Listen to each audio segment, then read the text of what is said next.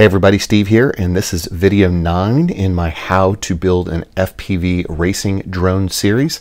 I can't believe that uh, we're finally here. This By the end of this video, we will have done a test hover with this thing. So if you've missed any portion of the playlist, then please do me a favor and check the description below for a full list of all the videos that are contained within this series. And please go ahead and subscribe and hit that little bell because even though this is the ninth video, this does not represent the last video. There will be more. We still have a bunch of stuff to do, but for our purposes here today, we just want to do a test hover. All right, so uh, in front of me, I've got my quad uh, with no propellers on it, and uh, I've got a battery that we'll be plugging in in just a second. I have my USB plugged into my flight controller, and I'm going to go over to Betaflight on the screen and hit connect. And I want to tackle the last thing that we need to do prior to doing our checklist before flying, and that's setting up our modes.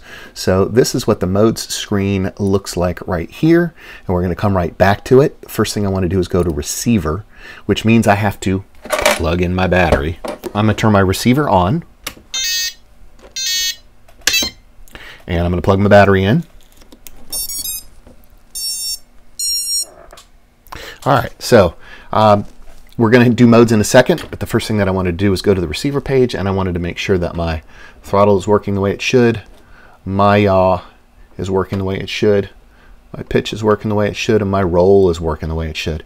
In addition, when we first set up this uh, radio back in a previous video, check the checklist, uh, back in a previous video, we also set up this switch right here.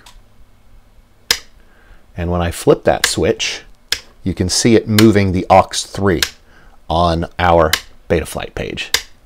All right, so we've verified at this point that our receiver is uh, in fine working order. So we're going to go to, where we're going to go to, we're going to go to modes. And we're going to add two modes at this point. Um, first thing we're going to do is add a flight mode. And we're going to pick angle. Angle is the easiest mode for beginners to fly in.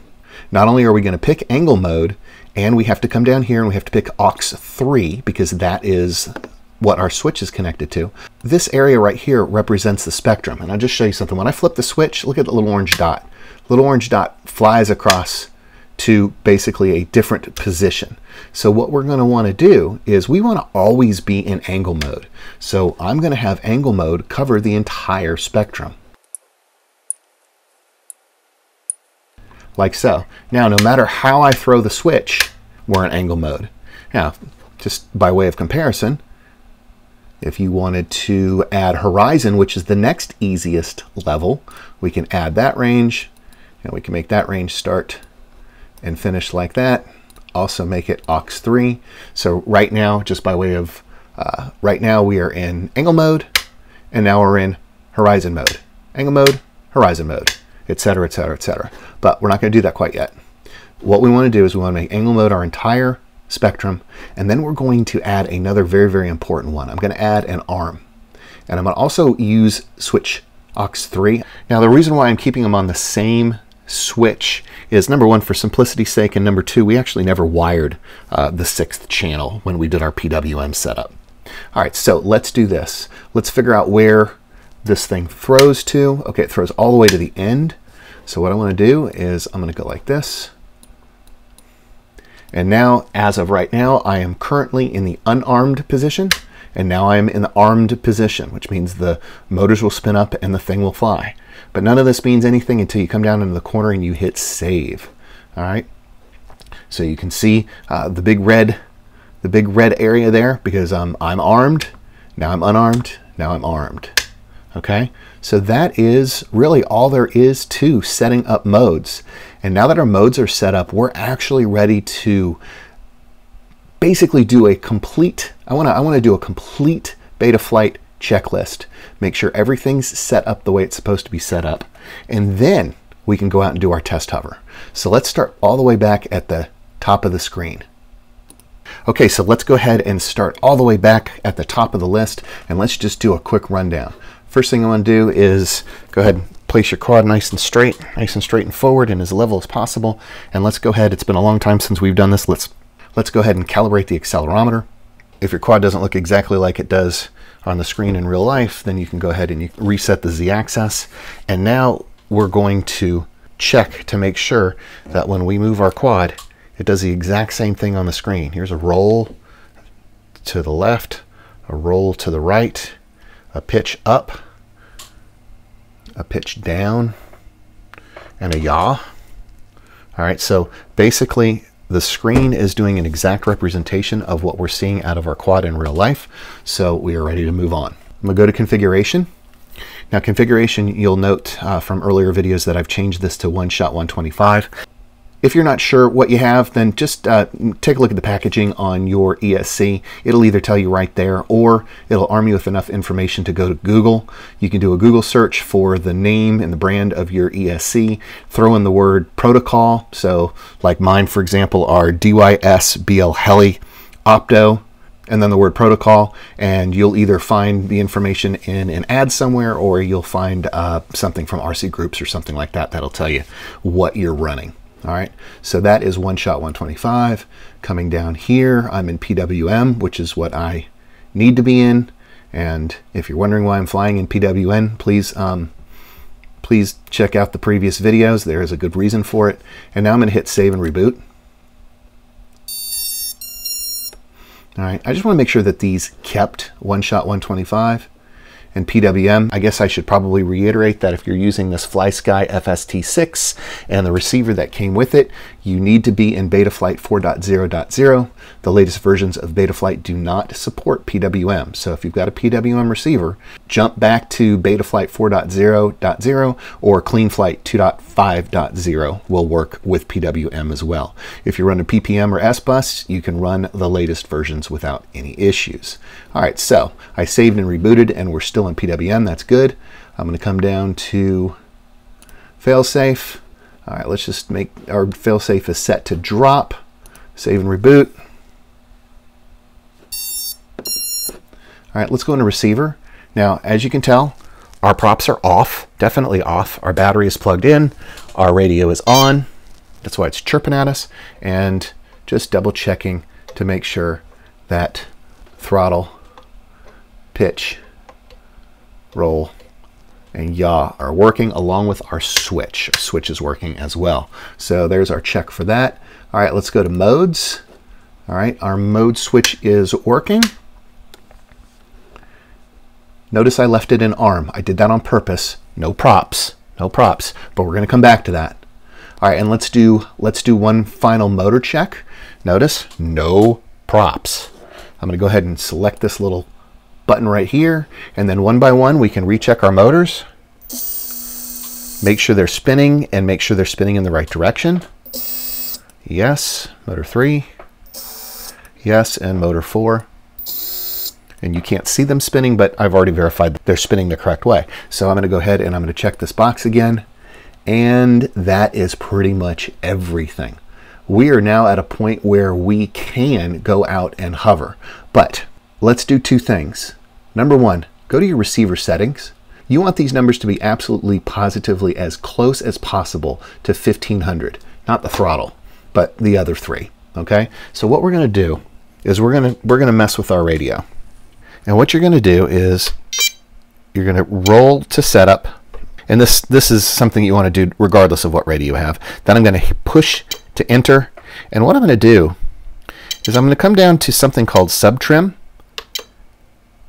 And you can see that I've already played with this. But when I move this, you can see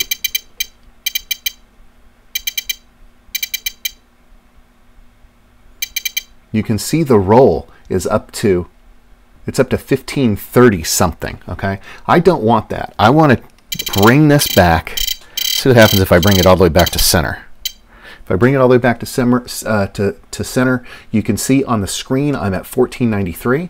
So let's try to get this thing as close to 1500 as possible. There's 480, 499. There's kind of bouncing around.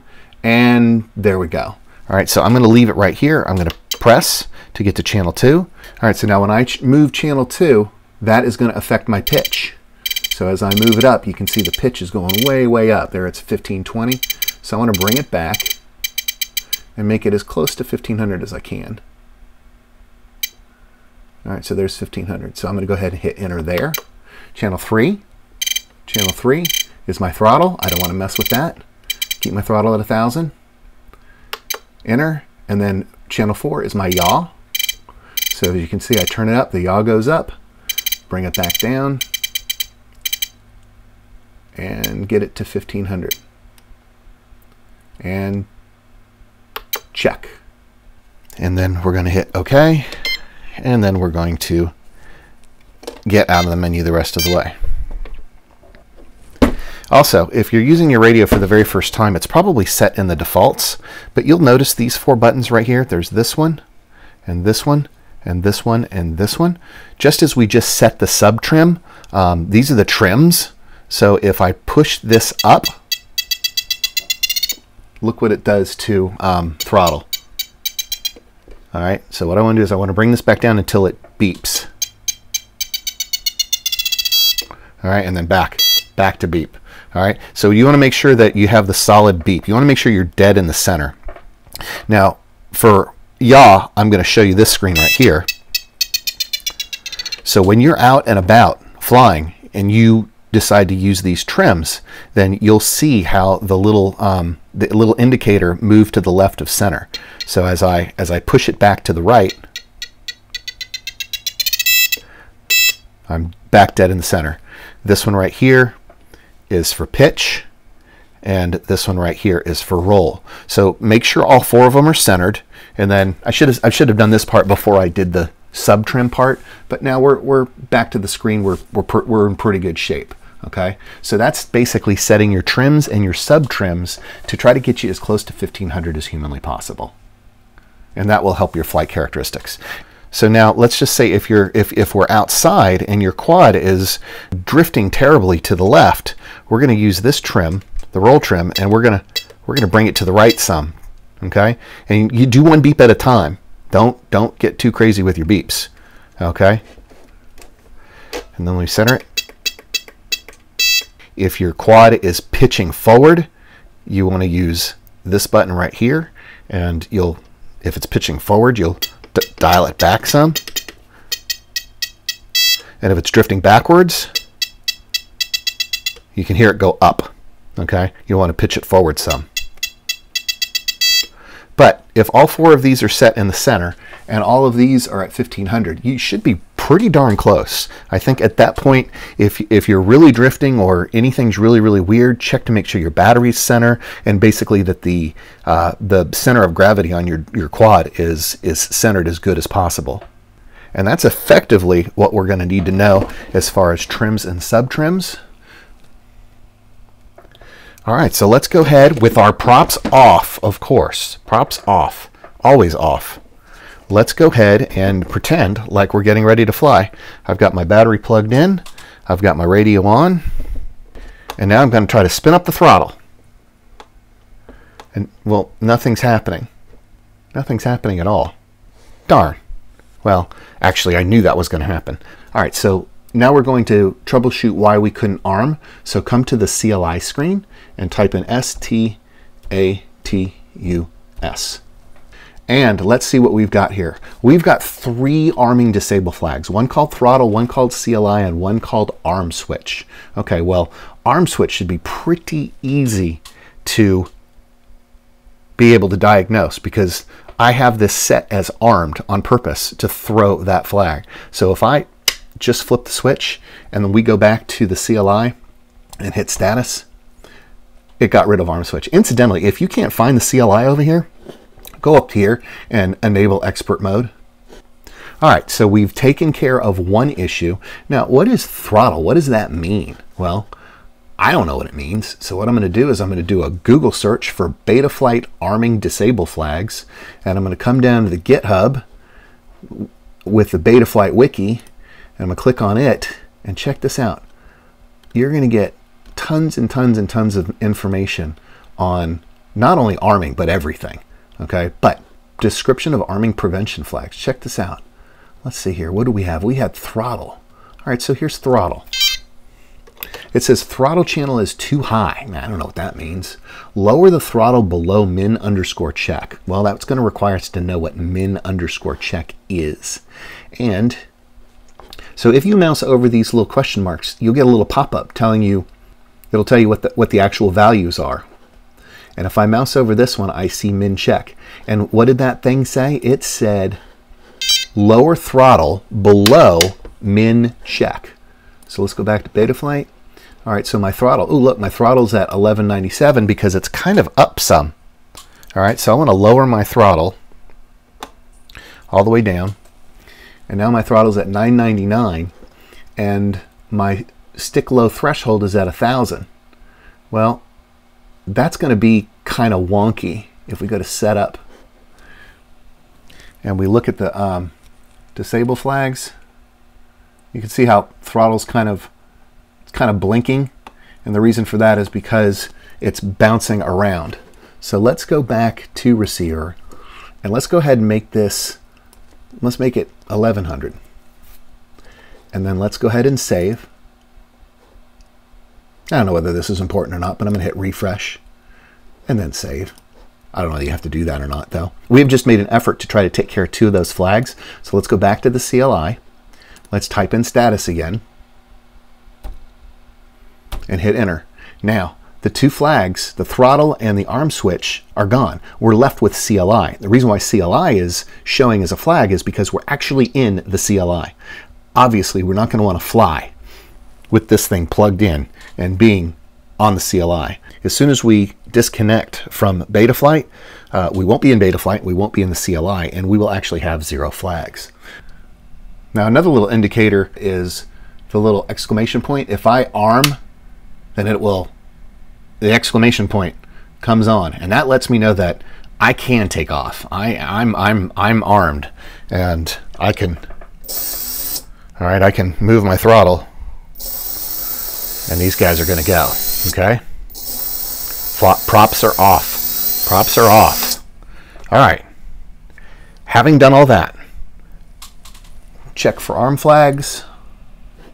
I have no arm flags at all. All right. No props. That means I should be able to arm. And when I arm, when I hit that button, notice the little warning light illuminates. All right. That means my that means my motors are live and they can take off. And there they go. So one thing that I like to do prior to flying is to try to get my motors going pretty slowly. And I'm going to pick up my quad and I'm going to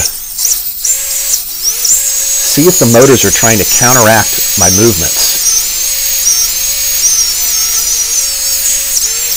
And they are.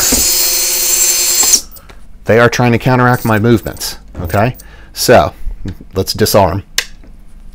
So that lets me that lets me know that's just kind of one more indicator that everything should be fine when I get up and get ready to fly. So we've made sure our motors are good, ESCs are recalibrated, we made sure our, our, our radio is doing what it should do, and we've got our modes set up, and we are ready to put propellers on this thing and go fly. Okay, let's talk about props. Now, so these props are kind of small. These are five inch props, I believe. I'd rather run the six inches like this. But I came to realize that I don't have enough of these little, uh, I don't have enough of these little insets to fit with these motors. So uh, I'm just gonna, for the purposes of just getting something up and hovering, I'm gonna use these guys. All right, so now keep in mind something. This guy right here has gotta go clockwise. Okay, so does his counterpart over here clockwise, whereas these guys are going to go counterclockwise.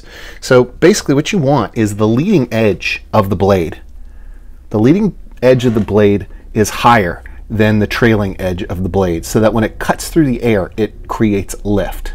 Okay, so make sure that when you spin your motors, just look when you're spinning your motors that the leading edge is higher than the trailing edge. So that one is on correctly. This one's on correctly. Leading edge, leading edge. That one's on correctly. And this one's on correctly. You can also cheat. All right make sure that your props are on. Uh, make sure that you can see these little letters on your prop. So that one says 5030R. And then if I spin this guy around, also hopefully you can see it, it says 5030R. And the words are written on the leading edge.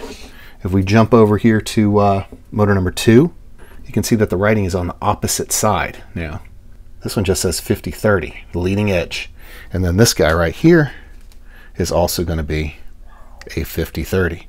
I've gone through my checklist. I've got my props on. I know my motors are spinning the correct way. I know my props are on the correct way. And there's nothing left to do than get out there and try to do a liftoff. Let's see how it goes.